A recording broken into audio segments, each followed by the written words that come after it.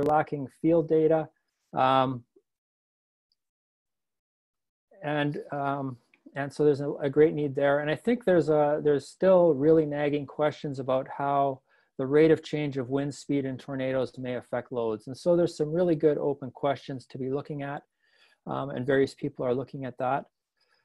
We do know some things. Um, this is a this is a, an image from uh, one of the papers from Partha Sarkar's group. He did some really nice PIV measurements around buildings, and, and in the image on the left, uh, the tornado is, is relatively close uh, to the building. You can see that the stagnation point is on the, on the left face, leftward face of that left image.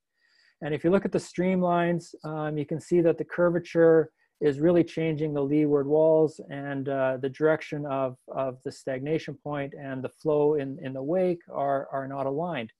And so the horizontal loads are clearly changing in this kind of case. And so there's some good information now that's available about that.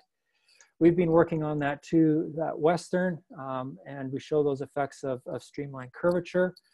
For low buildings, often it's uplift that are, is the key thing uh, uh, for design. And it looks like uplift loads aren't changing that much, at least uh, for the main structural loads. Um, although the effective wind direction may be changing, which may change how internal pressures and the external pressures on the roof interact. And there's been some nice work by David Roueche and others uh, looking at that kind of issue. So this area is being looked at. There's still some significant open questions, and uh, and but progress is being made. There's also tornadoes uh, have the have that very strong static pressure drop, and uh, and I think there's still really, to me in my mind, open questions about that, particularly with how tornado vortex generators uh, generate the static pressure and the peak wind speed. And again, we're lacking full-scale field data. Um, that's going to be a common theme with this, um, and, and, it's something we need to look at. Tornado vortex generators, of course, um, don't generate the thermodynamics, and their Reynolds numbers are relatively lower, and so there's still questions about uh, that. Handling that, I think we can do that, and I believe Fred, Fred Haan and his, his comments later on will be talking a little bit about some static pressure effects. Of course, when you talk about uncertainty on wind loads and the controlling parameters, wind speed, of course, is the, is the most dominant parameter. Um, uh, loads, of course, go as, as, as velocity squared. And in tornadoes, we, we, we get our wind speeds from damage observations. And so um, there's an indirect step in, in knowing what tornado wind speeds are. And again, there's, I think, some significant open questions in that regard. Um, Wind speed estimates based on engineering calculations, uh, forensic analysis give us uh, some confidence and those, have, those approaches have been validated with a lot of great work uh, on hurricanes by things like the Florida Coastal Monitoring Program where they put towers and have instrumented houses uh, measuring pressures on surfaces that give us confidence that we're able to do these kinds of estimates. Of course, we do need to know the details of tornado wind fields and the static pressures and things like that to, to do some of that assessment. But in general, we have some confidence about that. Um, this is really embodied, embodied, the wind speed estimates are embodied by the, by the enhanced Fujita scale. Of course, Fujita's original scale from the 1970s um, was modified by Texas Tech University in the mid 2000s. And they brought in this concept of damage indicators. So what are the things that are damaged in, in the storms? And of course, in, in the US and Canada, our primary indicator is wood frame houses. These are our most common structures and they, they, they span the continent. Um, one of the really nice things that Texas Tech did in the enhanced Fujita scale is this concept of the degrees of damage. And so you start from threshold of damage, uh, DOD1, if you look at the table on the right, up to complete destruction of the house at DOD 10. And so you have this sequence of failures and with wind speeds with them um, to help assess the damage. These were, of course, developed by expert judgment, and, uh, and some of them, some of these items have been validated by engineering calculations. Uh, uh, fragility curves, of course, support um, some of this analysis. If you look at um, uh, on the left, uh, this is probability of failure versus wind speed. Um, the gray, the gray highlighted area is DOD six for, uh, for which is the roof coming off of the house, and and the curves are our fragility calculations using wind tunnel data and, and full scale uh, capacities to, to estimate the fragility curve. And you can see that for gable roofs, this works pretty well. On the right-hand curve, for hip roofs, um, it's not as good. Um, but we can, we can account for these things and it gives us some confidence in the EF scale. Um, I think as wind engineers, one of the areas where we've been lacking um, other hazards like earthquake engineering is we don't have fragility curves for all of these structures. And as we get more and more of those done, uh, I think that will help us with these damage assessments and getting wind speeds from the damage observations in tornadoes. The other part, and this is what I really want to focus on, on today, is um, wind speeds in the probabilistic sense. So as I mentioned, ASCE 7 is going to have uh, a probabilistic wind speed map for tornadoes. And you develop this much like you would for a, for a hurricane or a tropical cyclone uh, climate. Um, you have historical occurrences, you have um, uh, a physical model, and you put in variation, and you do a Monte Carlo simulation, and you work on the wind speeds. With hurricanes, we tend to know when hurricanes occur, so we have a very good um, understanding of occurrence rates. We have anemometers that have measured wind speeds, at least on shore, and so we can validate those models with, with data. The approach is similar for tornadoes, but again, the wind speeds haven't been directly measured. They've been assessed based on, on uh, historical damage observations and assumed wind, wind field models. And all of this assumes that we're actually capturing all of the tornadoes that are occurring or capturing enough of them to be reliable and that we have the right intensity estimates. And so one of the challenges we have is with a damage-based scale, if you have a, a monster tornado, but it hits nothing but farmland, it doesn't get rated as, as the true wind speed that will have occurred in that tornado. And so there's gonna be some bias in these analysis um, based on lack of, of data. And so that's what I want to focus on the rest of the talk. And, and I think it's one of the areas where um, uh, we can do quite a bit more in wind engineering. And I'd like to see um, uh, more efforts around the world to, to capture some of these things so that we can start to understand how tornadoes are occurring and perhaps changing globally. So sparsely populated areas um, lead to underreporting of tornadoes and probably underestimate, underestimates of their intensities. Tornadoes, um, at least in North America, are primarily occurring uh, on the Great Plains, what we call Tornado Alley. And these are farming regions, so by definition, they are not highly populated like suburban areas. They have areas with, uh, with significant populations. And when these get hit, it can be devastating. Um, but a lot of the areas um, um, have relatively few people. And so this is going to affect uh, the probabilistic estimates.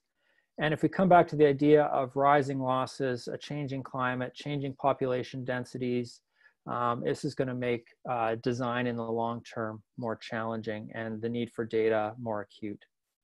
So I'm going to focus on Canada. Um, this is a map of tornado occurrence in Canada. Canada has about 60 tornadoes per year. Um, and the observations, if, you, if you've been to Canada, um, University of Western Ontario is down here in the southeast. Uh, We've had uh, some strong tornadoes in, in our region uh, down here. But most of Canadian, Canada's population is, uh, is, is hovering near the US border. And so this map of tornado occurrence actually looks a lot la like our map of population density. And so we believe that there's probably quite a few tornadoes missing in these sparsely populated areas. And in fact, it's a little bit um, um, I think true that um, tornadoes are also occurring where there is population that are just being missed because they're going over farmlands and things like that. Uh, again, where where there is uh, a few damage indicators. To account for that, um, colleagues at University of Toronto and Environment Canada um, tried to take this into account. So they took the data on the from the previous slide, those actual observations, they added in lightning data as a proxy for thunderstorms, as a proxy for tornadoes, and then weighted it with population density. And then they revised the map of, of tornado occurrence in Canada. And they estimate, so this is a modeled number, but they estimate about 150 tornadoes per year. And so the question is, is this analysis right? Is it verifiable? And can we do anything um, uh, to validate that? I think this problem also uh, exists uh, in the US and probably around the world. Um, when you put um, uh, tornadoes across all of North America, for example, there's, there's some clear gaps.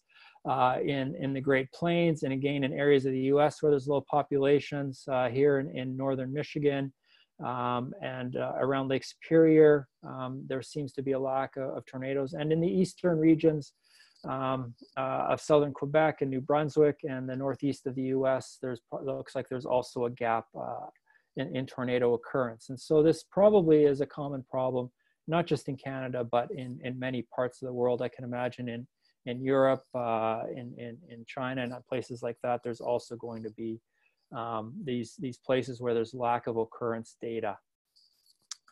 So we formed uh, the, something called the Northern Tornadoes Project. Um, uh, I don't know if I was inspired by the Toronto Raptors and their, their hashtag We the North, um, but uh, you know, Canada is a northern climate, so you don't tend to think of it as, as uh, a tornado prone area, but we do have our, our share of them, so we called it the Northern Tornadoes Project.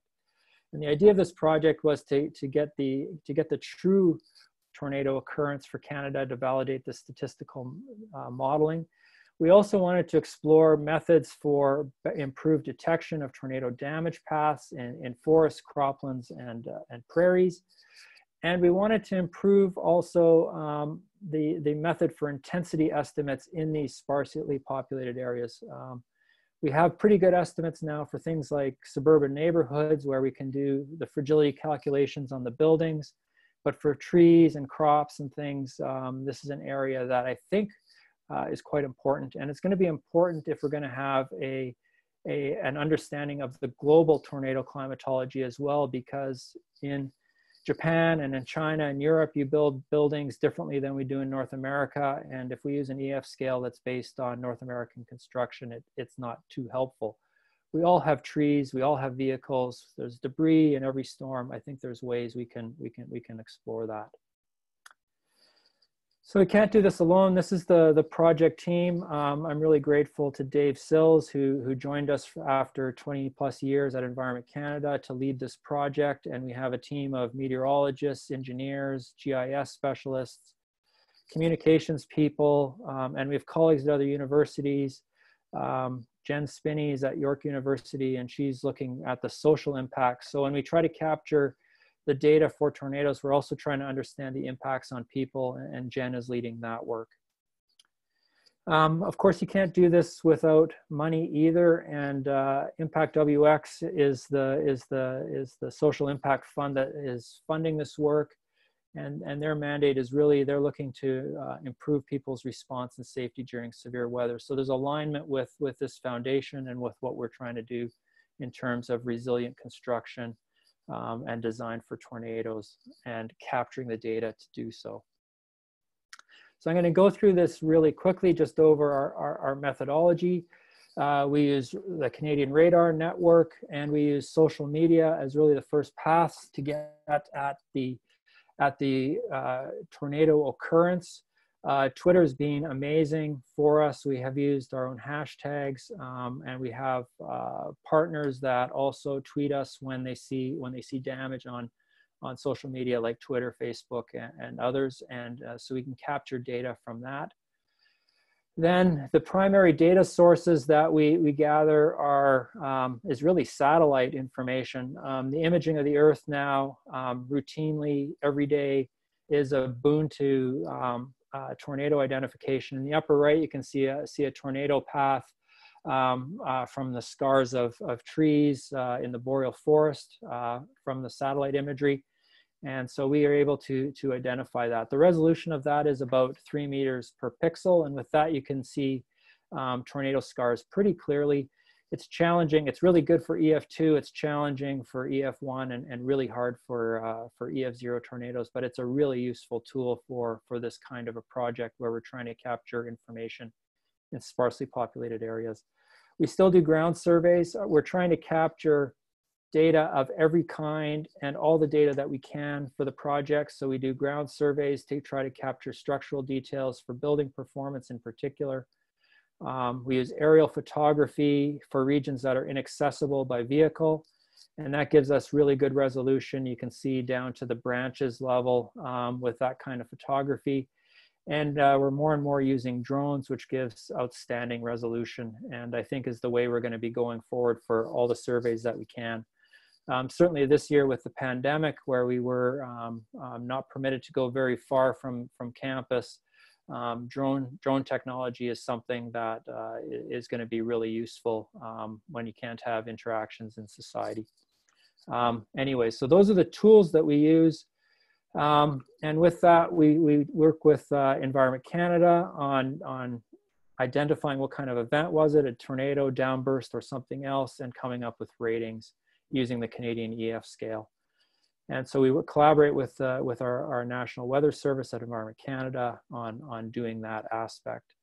We also have partners with partnership with the Weather Network, which is uh, which is analogous to the Weather Channel in the U.S. and um, and so they often get called when or emailed or or people uh, reach out to them on social media when they when they see damage and uh, we we work with them and they they transmit their data to us and in exchange they're they're seeing our ratings fairly early for their for their media work so that kind of partnership works so Canada is a big country. It's challenging um, uh, to identify every tornado with a with a relatively small university group, but, but I think we've been reasonably successful at that.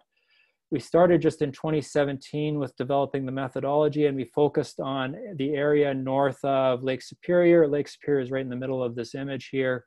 Um, and we were in looking at, in the sparsely populated area out here where there's just really moose. Uh, there's some fishing camps, there's indigenous communities, uh, but not too many people. And uh, so we focused on identifying tornadoes in that area and developed the method. And then uh, we, we went to all of Canada in 2019. And uh, we've, we've assessed that uh, we increased the tornado count by about 80% in 2019 using these methods compared to, to the previous methods. So there is some indication that the true number of tornadoes is much larger than had been previously verified. Um, you can find details of that. We just published a paper in, in BAMS and you can see details uh, pertaining to that. But it seems like one can use these methods and again, satellite imagery is really a powerful tool for, for that. So that's occurrence rates. One of the things then that we need to uh, uh, get better at is intensity um, assessments. And for this, by definition, sparsely populated areas means there's not buildings there, which means we have to use other things for intensities. And so trees, crops, grasslands, vehicles, farm buildings are the kind of structures that we want to be focusing on to get better intensity and estimates. And and so that's what we want to talk about. So I'm going to talk about trees for a little bit. Um, and there's, I guess we have in the EF scale, there, there's differences. I just have the Canadian and US EF scales for trees uh, up here. We have the degree of damage approach, but you can see the Canadian approach and the US approach are, are really quite fundamentally different. There's a committee right now, um, a standards committee developing a new EF scale, and I think some of these differences are going to be mitigated by that. But there's also tree uh, damage indicators in the Japanese EF scale, and the Europeans also have trees in their assessments. And so um, all of these are somewhat different. I think those differences can be resolved, but one of the limitations that I want to focus on in the Canadian EF scale, for example, DOD6, is that more than 80% of the trees are, are, are snapped or uprooted or debarked uh, um, or denuded by, by missiles. And, and the expected value is in the EF2 range of wind speeds. For certain forests, we can go up to, up to EF3 for the upper bound. Um, that is kind of limiting if our primary damage indicator is, is trees in, in, in sparsely populated areas um, it means we, we may not be able to identify EF3, EF4, EF5 tornadoes um, based on this scale. And that's where the research comes in. Um, so this is a photograph from one of our images, and you can see that trees uh, offer um, a really clear indicator of damage. One of the beautiful things about um, trees and crops um, is that they're fairly continuous for large periods, so you can see changes of intensity and understand how tornado paths um, strengthen and weaken along their path. And, and so it's a good tool for that, as long as we can get the maximum intensity. And so there's been some great research in the US on that. I have an image here from Chris Karstens' paper uh, analyzing the Joplin tornado. Of course, this is a, this is a, a suburban area uh, a built up area with lots of houses and other structures which can be assessed. And they did a very detailed analysis of the trees. And this kind of data then gives us a way of, of finding methods from the trees that can get better intensity estimates. Um, one of the examples uh, that I want to put here is for the Alonsa tornado uh, in Manitoba. I grew up in Manitoba, so this area is fairly close to where I grew up. Um, and it, this was an EF4 tornado in 2018. It was the highest rated tornado in North America. Uh, in 2018, it was a relatively quiet year. Um, and so that was actually happened in Canada. Um, I, I, don't know if that's something to be proud of or not, but I guess we talk about it all the time, so maybe we are proud of that. That EF4 rating was based on uh, structural damage uh, to a house. There was there was a fatality uh, in this event, which was which was tragic. You can see the path, the damage path uh, from, from the satellite imagery. It's very clearly showing up. And what I want to talk about is some of the work Frank Lombardo's doing. So he has access to our data and he used his tree fall method for this. So he provided this slide to me. Thanks, Frank. Um, and they're estimating using um, a vortex model that they fit with, uh, with tree characteristics and, uh, and vortex characteristics, and they merge those things to assess the intensity and so in the early stages of this tornado of the path, he found EF3 kind of wind speeds fit the damage patterns very well, and he got to EF4 on that. Um, so this is beyond the EF scale, um, but I think this is the kind of future that we can do to improve methods to get better damage estimates for, for the tornadoes. And certainly acquiring data like this will allow researchers uh, like Frank and others to, to do these kind of assessments so we can get better intensity uh, assessments. One of the things in, in, in, in Canada and in the prairies is that there's a lot of grassland. And so Frank was looking at the trees, but there's also grassed areas. If we zoom in uh, on, on the right of this image, you can see some of the tree falls, but there's just grassland uh, in this area here. And when we looked on the ground, um, we just found dead grass. I mean, the left image, you can see very clearly the track uh, through there, but on the ground, it's difficult to see.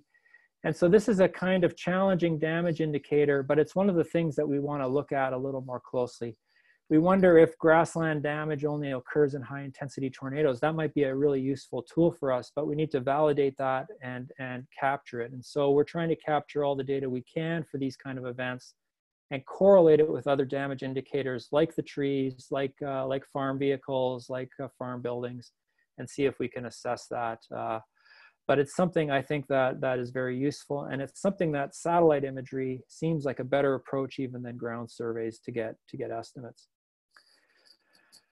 The last thing I, I want to talk about is windborne debris. Um, debris is really a characteristic of, of tornadoes. Um, it's the thing that to me when you do surveys afterwards really stand out. This was a this was the image on the screen as an ef3 tornado about 100 kilometers from from western.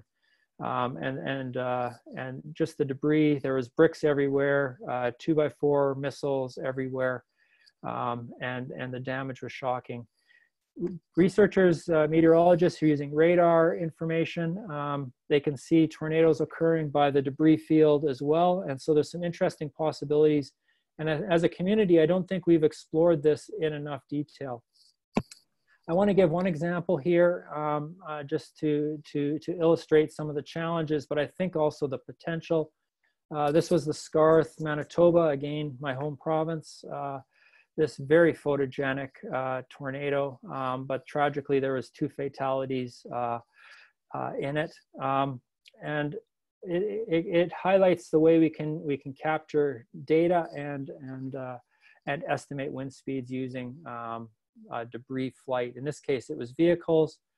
There was two, uh, two vehicles that took shelter from the tornado on a driveway and tragically they were they were both thrown in, in one vehicle um, the people survived and and uh, there was witness interviews and they talked about their experience. I don't want to focus on that but from those vehicles we could estimate the path distances. Uh, this vehicle tra traveled between 200 and 340 meters we estimate. And uh, and uh, there were storm chasers in the area um, who captured video. And you can see uh, in the video um, uh, very indication of large debris elements flying through the air. And so when you can find those debris elements, get the detail, in this case vehicles, assess roughly how far they flew, we can use that to back out wind speeds. But this, this kind of analysis, I think, is still in its early stages. But using the debris flight equations, I think there's some possibility uh, together with tornado wind fields to estimate debris. In this case, for vehicles, uh, Fred Haan has done some really nice work in the Iowa State simulator on, on flying vehicles. And so he, he actually has estimates for that. So vehicles that would fly a fairly long distance, he has found uh, from this simulator um, high EF3, low EF4 for this kind of event. Um, so this can be embodied in the EF scale by, by observations. I think there's a lot of challenges with vehicles. A lot of vehicles are parked near houses and other buildings. Vehicles are small and, uh, and the houses are relatively large beside them. And anyone who's done wind tunnel work or written a wind tunnel report, we always write the caveat, if there's major structures nearby, it will change the wind loads. Well, for a vehicle, a major structure nearby is the house. And so there's gonna be a lot of variability with these but in fairly open areas like farming communities, uh, vehicles, I think, could be a very good uh, damage indicator. As I mentioned earlier, the ASCE and AMS is developing a, a, a revised EF scale, and, uh, and they're also putting in proper methods for forensic analysis and use of radar, which I think is a really good development. And I think with that, um, uh, we, can, we can start to get some of these damage indicators um, in a way that's appropriate, not just for the US, but also around the world. The IAWE, the International Association of Wind Engineers, has a working group looking at international EF scales. And as part of that committee, we, uh, we tried to identify tornado currents around the world. Um, obviously, the US has by far the most, but I think we're undercounting in a lot of areas. And so getting better data, again, would be very useful. And to do that, um, I think we need to find common damage indicators. Every country is going to have their own EF scale or uh, similar method when they when they develop these, um, and that's appropriate because you're going to have uh, building performance, building types, uh, neighborhood patterns, and things that are that are distinct to, to each country. But there are damage indicators that are common across all of these regions, and these tend to be these sparsely populated area damage indicators like trees, uh, uh, other natural uh, elements grasslands, crops, um, and vehicles. Every country has vehicles, of course, and so these are things that we can use. And debris flight, again, is a very common factor in tornadoes, and it'll be interesting um, to develop those areas. And if we do that, we could, we could um, I believe, have an international EF scale that would allow us to assess the global climatology, understand how uh, tornadoes and, uh, and over the long run, how tornadoes and other severe storms are changing with the climate and get to better uh, design processes. So with that, um, I'm gonna stop and I'll be happy uh, to take any questions. Thank you very much indeed, Greg. Um, if you could unshare screen, please, if that's possible. Yep.